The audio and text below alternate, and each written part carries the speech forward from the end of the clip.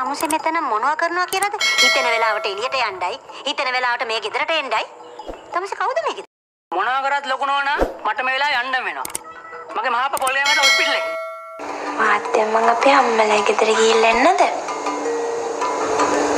නෑ දැන් අද නැන්දලා අම්මලා සේරම කට්ටිය ඉන්නවනේ.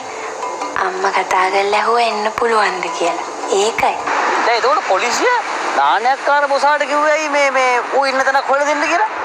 අනේකට කියන්නේ පොලිසියෙන් පවා පවා මගේ උදව්